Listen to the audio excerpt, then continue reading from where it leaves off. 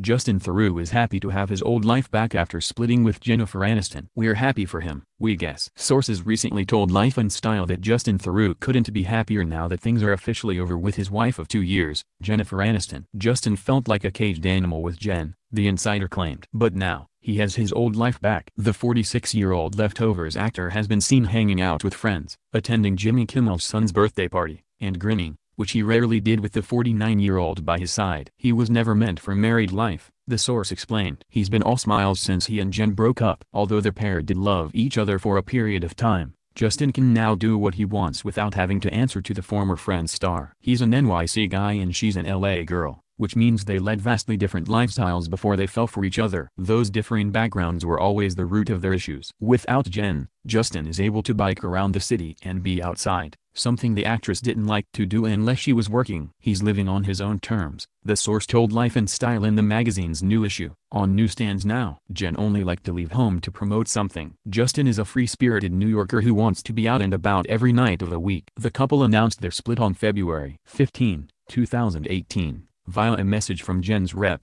Stephen Huvane. Normally we would do this privately, but given that the gossip industry cannot resist an opportunity to speculate and invent, we wanted to convey the truth directly. The statement read, Above all, we are determined to maintain the deep respect and love that we have for one another. Jen and Justin insisted in the statement that they have decided to part ways as a couple, but look forward to continuing our cherished friendship. However, with Justin much happier as a single man, it's not quite clear how good of friends they've continued to be since the breakup.